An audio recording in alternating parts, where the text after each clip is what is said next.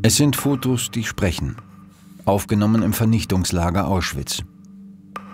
Sie zeigen ungarische Juden bei den berüchtigten Selektionen, Bilder, die für das Grauen Auschwitz stehen. Knapp 200 Stück in einem vollständigen Album. Im Auftrag der SS hat er das Album erstellt, Bernhard Walter, Fotograf des Erkennungsdienstes in Auschwitz. In den Wirren des Kriegsendes nimmt er das Album mit, statt es zu vernichten. Wir wissen nicht genau warum. Also er hat dann nie eine Aussage zu gemacht. Wahrscheinlich, weil er eigentlich ganz stolz auf diese fotografische Arbeit ist.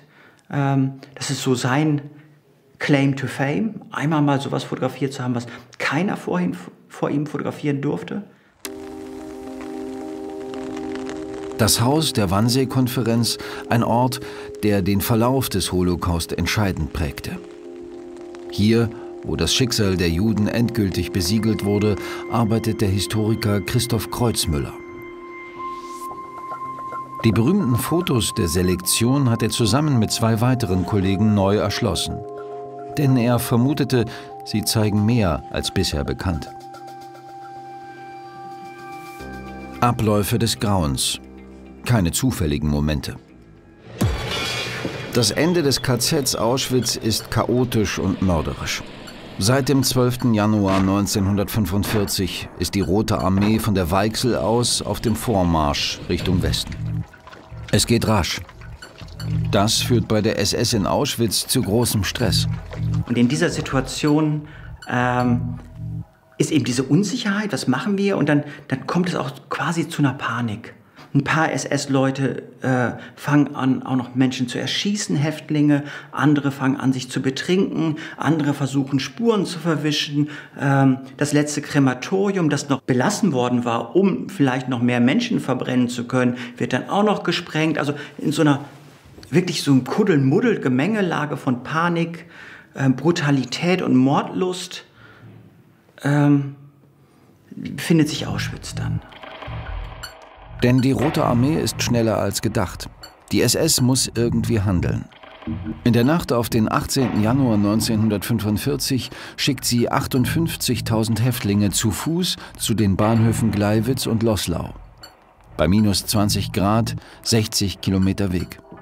Für Tausende ein Todesurteil. Die, die die Züge erreichen, werden in die KZs Buchenwald, Mittelbau-Dora und Bergen-Belsen gebracht und gleichzeitig ähm, verlagert sie die Bürokratie und zwar nach Nordhausen in das Konzentrationslager Mittelbau-Dora. Das wird sozusagen dann die, die Auf, das Auffanglager für Auschwitz. Da geht auch der gesamte Führungsstab der SS von Auschwitz geht dahin äh, und die Registratur auch.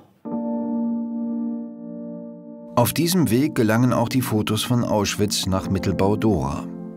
Dort lässt der Fotograf sie zurück, als er flieht. Zufällig findet sie eine Jüdin. Lili Jakob, Finderin, und will bestimmt im April 1945 nicht noch mehr Fotos aus Auschwitz sehen. Aber sie nimmt dieses Fotoalbum aus Auschwitz mit, weil Familie da zu sehen ist. Lili Jakob übergibt es später an die Gedenkstätte Yad Vashem. Jahrzehntelang werden sie als Sinnbild für den Holocaust genutzt. Eher ungeordnet, pauschal, bis vor kurzem.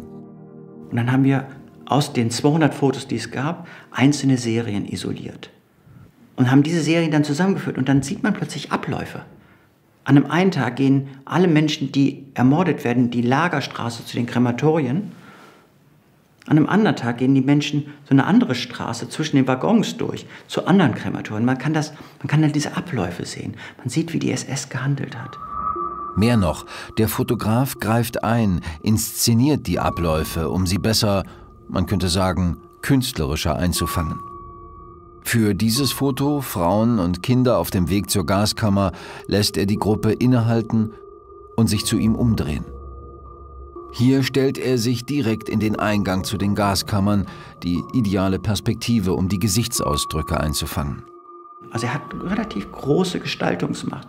Er will das natürlich inszenieren. Er will das als von allen möglichen Blickpunkten schön ins Bild setzen, wie erfolgreich die SS das, er, das Ermorden der Menschen der ungarischen Juden organisiert hat. Auch wenn wir bisher die Menschen auf den Fotos als Opfer gesehen haben, die sie auch waren, so hat Christoph Kreuzmüller noch etwas entdeckt, das heute schier unvorstellbar ist. Man sieht, und das war uns ganz, ganz, ganz wichtig, man sieht den Protest. Es gibt vier Kinder, die dem Fotografen die Zunge rausstrecken. Und diesen vier Kindern haben wir das Buch auch gewidmet. Das ist natürlich so ein ohnmächtiger Protest, aber sie protestieren. Weil sie ein Fotograf in der größten Not ihres Lebens schön in Szene setzen möchte.